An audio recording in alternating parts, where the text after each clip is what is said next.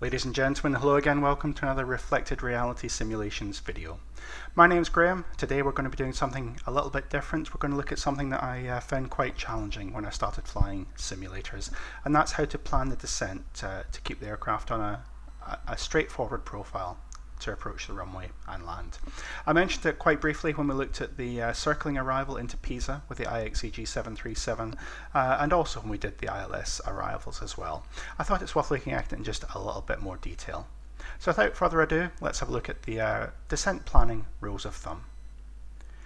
I have to apologise, the video will make use of a little bit of trigonometry. Uh, I, it's uh, not ideal, but uh, we'll try and find that uh, a rule of thumb that works so we don't have to do too much calculation. So let's begin. We're looking at a 3 degree glide slope. This would be the 3 degree profile coming down here.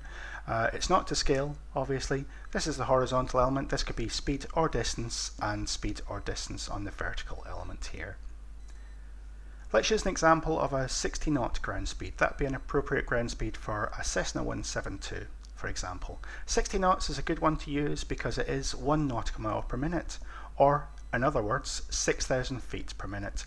Feet per minute on this scale becomes feet per minute in this scale, and this is where the dreaded trigonometry comes in. I'm not going to go through it here.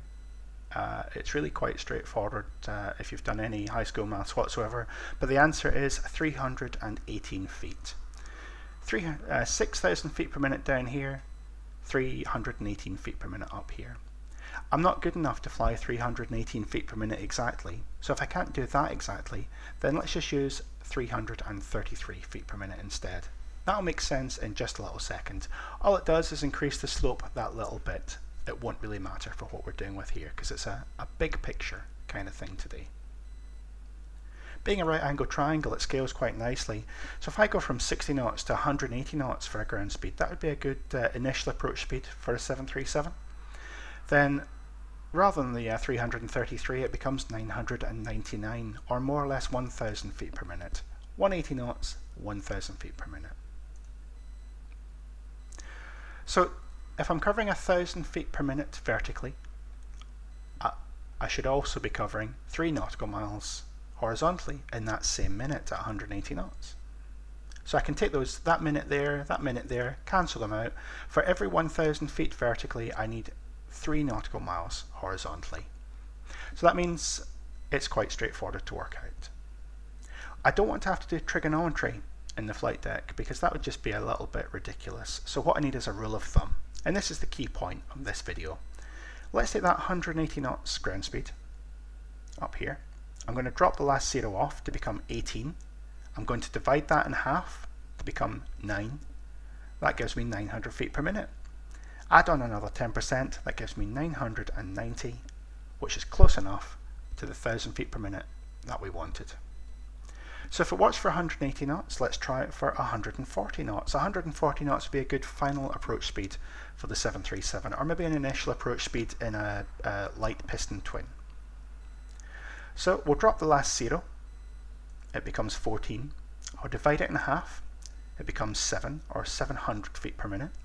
Add on 10% and the result is 770 feet per minute. And if you remember on the uh, Pisa video, I mentioned uh, 7 to 800 feet per minute and around about 140 knots. I think it was 150 knots and about 800 feet per minute. So you can see that rule of thumb works quite well for a 3 degree glide slope. It's basically half the ground speed. Ground speed is the horizontal element, half the ground speed for the vertical element. Uh, you can get the ground speed from your uh, GPS, maybe from a, a, standalone DME system. Your IRs might have it. Uh, use your true airspeed, subtract the headwind, or if you're flying a 172, just guess. About 60 knots ground speed would be a, a reasonable guess for most um, light aircraft landing into wind, and that would be uh, quite straightforward to work it out from there. When I say half ground speed, please bear in mind that there's uh, zeros involved. Uh, if it's uh, 300, then it would not be 150, it would be 1500.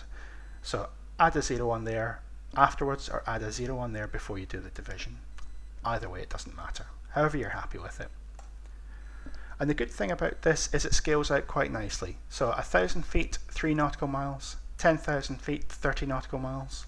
Uh, just keep in mind a figure of, uh, let's half that, 5,000 feet and 15. Just uh, keep that at the back of your minds there. Also up to 30,000 feet and 90 nautical miles. The trap here, however, is I'd be starting off the descent in a, in a jet airliner doing a ground speed of probably around 450 to 500 knots. Um, I can't land uh, at 500 knots. I certainly can't land even at 250 knots, which would be the feet, uh, speed I'd be using at 10,000 feet. I need to really slow down. And what I can't do is fly that 3 degree profile and slow down, because even at 250 knots ground speed, I'm going to be doing 1,400 feet per minute. The aircraft's going to be an idle thrust, and there's no extra way to slow down. I could use the speed brakes, but to be honest, it probably still wouldn't help on that profile. So what I need to do is uh, include in my calculations a little bit of a shallower segment to let me slow down. Let's say that uh, over a thousand feet, rather than using three miles, I'll allow five miles. That's a different profile. That's a much shallower profile. So if I'm doing a thousand feet per minute, I'd be flying at a 300 knot ground speed to fly that profile. The profile works out to be about 1.9 degrees, and it's really quite straightforward to work out. Take my ground speed, 300, divide it by 3, it becomes 100, and add the extra zero on here, or if you prefer, add the zero on here before you do the division. Really quite easy.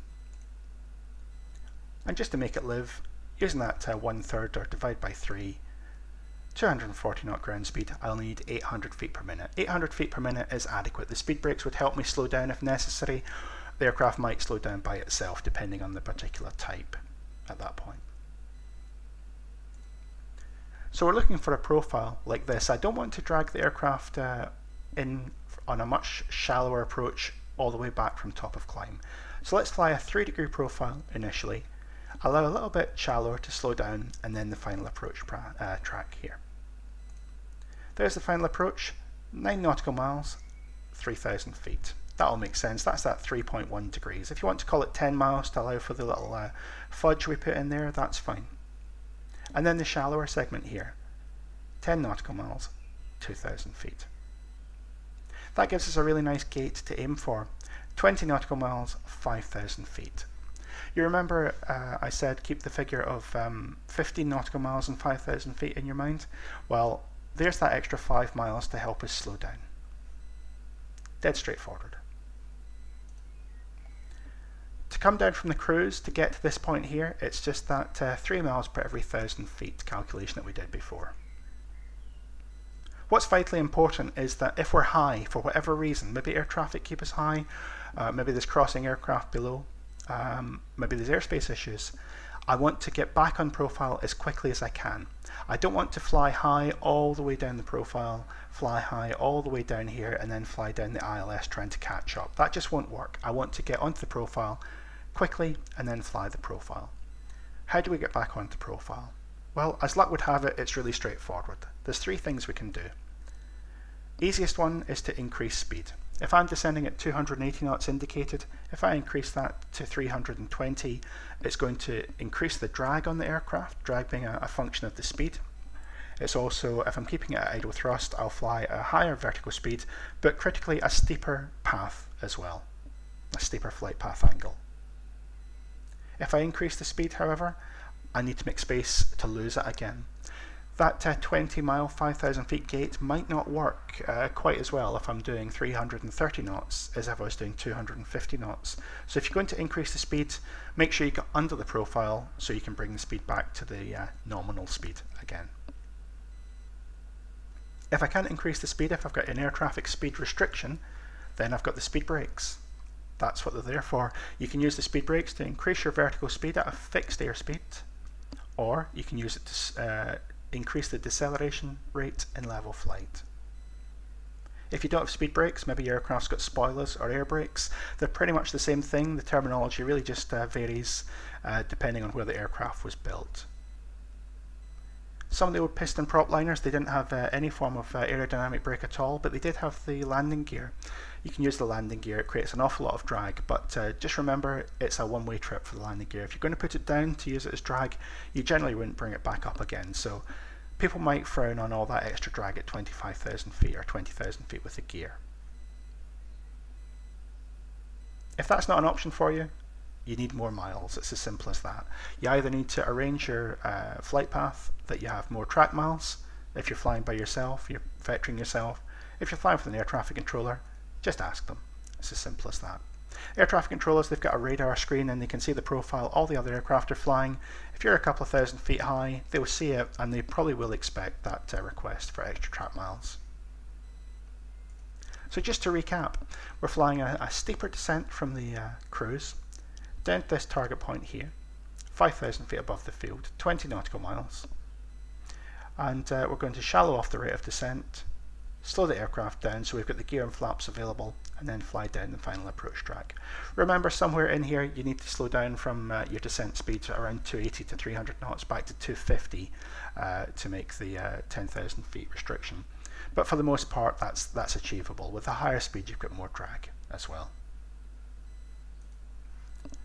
Ladies and gentlemen, I hope you found that interesting. It's not the uh, usual sort of video I would do. Um, I don't know if I'll do many uh, ground school kind of videos because it is just me talking and you looking at uh, screens on the computer. But that being said, if you do have any questions or comments on it, I'd be very happy to see it. Or if you'd like to see any other uh, subjects like this, um, please let me know and I'll do my best. I hope you found it interesting uh, and hopefully, more than anything else, it'll make your sim flying a little bit more satisfying when you nail that uh, idle thrust from top of descent all the way to the ILS. Thanks very much for listening to me. I'll speak to you again shortly.